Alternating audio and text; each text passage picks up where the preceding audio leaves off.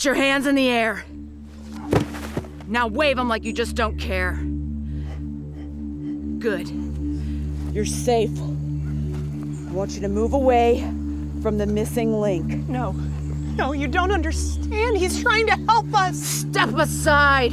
Harry and the Hendersons here just killed my best friend and partner. Aw, I'm your best friend. I mean, definitely like a good one. What are you doing here? I'm like your guardian angel now, watching over you from above.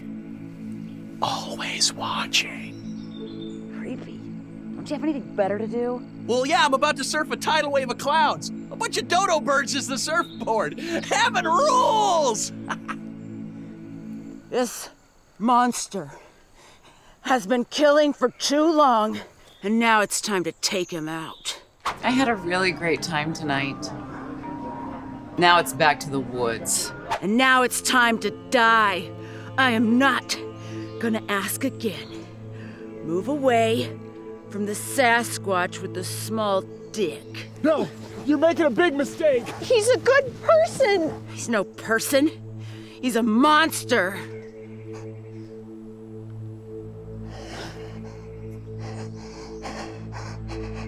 Don't move. Stop right there. I will blow your brains out.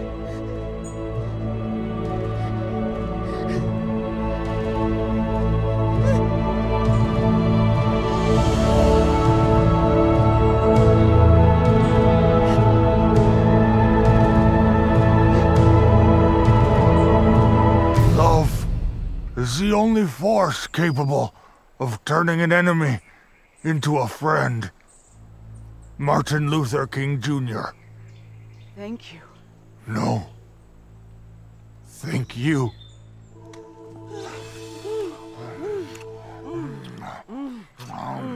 Wow. You can't unsee that. Well, well, well. Looks like I wasn't invited to this little party. Who are you? Don't you recognize your killer when you see her? Homemade Bigfoot boots, you big dummy. It can't be. Check your gender bias, bitch. Not so fast, Dana Scully. Everyone just take a big step over. Right, all of you line up, numbnuts. That's right. I killed all of them. Your partner, old man Osborne, and all the rest. I was just doing my part to protect the environment from your polluting human ways. You come in with your camping and your police tape, and you're destroying the majesty of nature. I wish you'd killed him. He was the worst one of them all. You would have been a perfect fall guy. But I guess I've got to finish it myself. But which one goes first?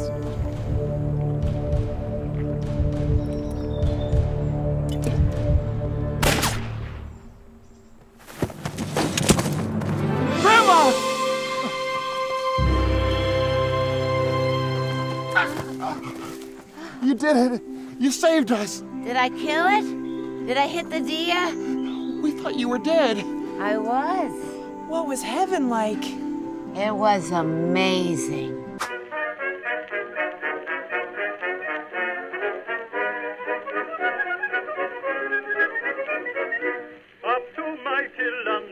Thanks again, old lady. Of course. We should get you home to your parents, and I should see a doctor immediately. Not so fast. You did just murder a woman. We kind of have to deal with that. We'll need a good lawyer. And I think I know where we'll get one. Hello, I'm Wainwright, and I'm here to tell you that faking insanity is a completely valid defense against any allegation.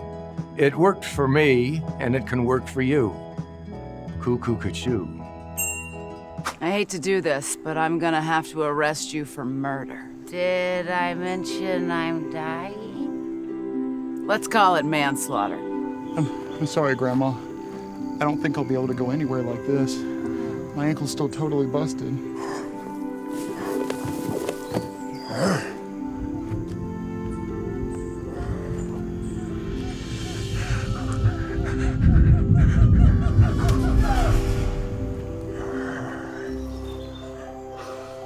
It's, it's fixed.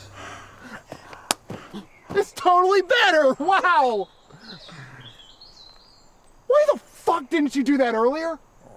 As much as I love to stand here and listen to you yell at that pile of dogs, I'm extremely short on alive time over here. Just give me one minute, Grandma, okay? I'm sorry, babe. I gotta go. This isn't goodbye. Well, it kinda is, though. Just not a permanent goodbye, just like a bye, see you soon. There's something I have to tell you. What? I'm pregnant. Possibly. Who knows? I just wanted you to know that anything is possible. You taught me that. I won't forget you. Or you. Maybe, maybe.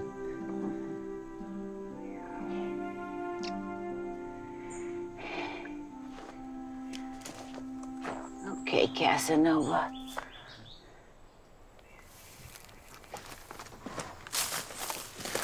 Well, we should get you back to your parents. I don't have any. I'm an orphan. Bigfoot, what do you say we take her in and be one big happy family?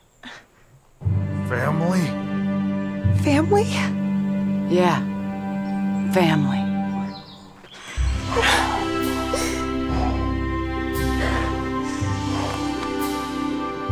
So is that blowjob still on the table?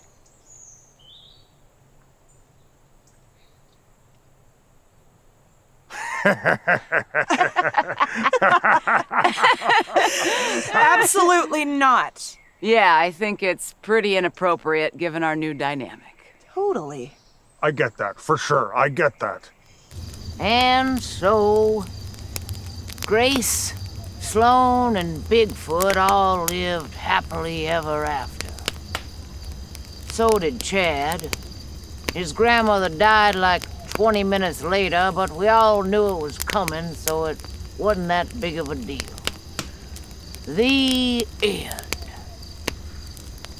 Well, that about does it for our story tonight. Hope you had a good time. And it was all 100% true. How do I know? Well, just so happens that Bigfoot was me. Look, I'm not whoever it is that you think I am. I, I was just in the wrong place at the wrong time, and you started talking to me. Uh, I've just been too polite to say anything until now. Did you hear what I said? That Bigfoot was me. Well, that's just the unbelievable cherry on top of an already implausible story. Look, man, I even told you that the Bigfoot had a small penis. Why would I tell you that? Just to tell you if it wasn't true. I'm being vulnerable here, man. Okay, uh, well, if, if you were the Bigfoot, then uh, why didn't you heal the grandma that was clearly dying and needed your help? I I mean, you fixed that kid's ankle.